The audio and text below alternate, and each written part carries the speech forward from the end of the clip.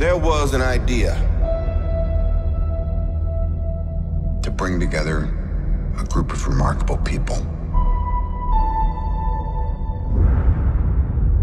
These costumes belong to the original International Justice League of Super Acquaintances. Things have gotten a lot worse since you left Bikini Bottom.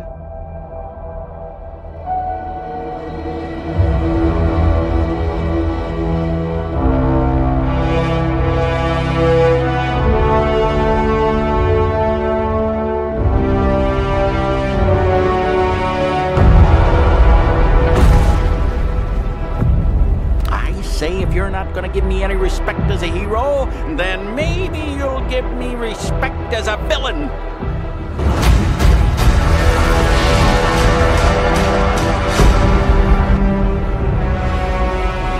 From now on, I want to be called Barnacle Man.